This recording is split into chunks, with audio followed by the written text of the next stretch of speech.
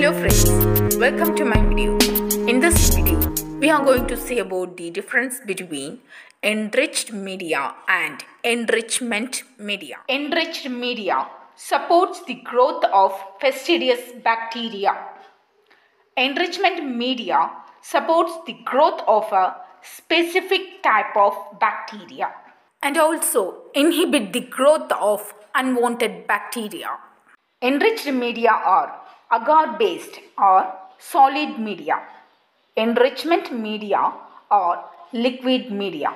In enriched media, addition of extra nutrients that is blood, serum, egg yolk, etc. to the basal medium makes the medium more rich to support the growth of fastidious organisms. In enrichment media, addition of antibiotics, dyes, chemicals, alteration of pH, etc. makes the medium more selective.